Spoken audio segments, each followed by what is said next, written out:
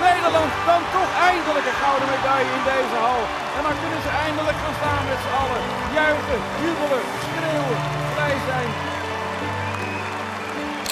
Van Kerkhoff, Poutsma en Xandra Velzenbroek. Er is weer goud voor de aflossingsvrouwen van Nederland. Legt de zondag achter de rug. Van Kerkhoff, ongekend ervaren op dit onderdeel. Schulting, Poutsma, Van Kerkhoff en Velzenbroek. Nu zijn het er vijf. Alle woorden is soms de beste verdediging. De twee landen wachten op. We gaan Nederland blijft op vol. Wat een race. in de rust van Jara van Kerkhoff het knokken en het niet opnemen. Ze hebben Rusland en Italië ook nog gesprint. Dat is allemaal bijzaak. Dat zijn allemaal cameo appearances.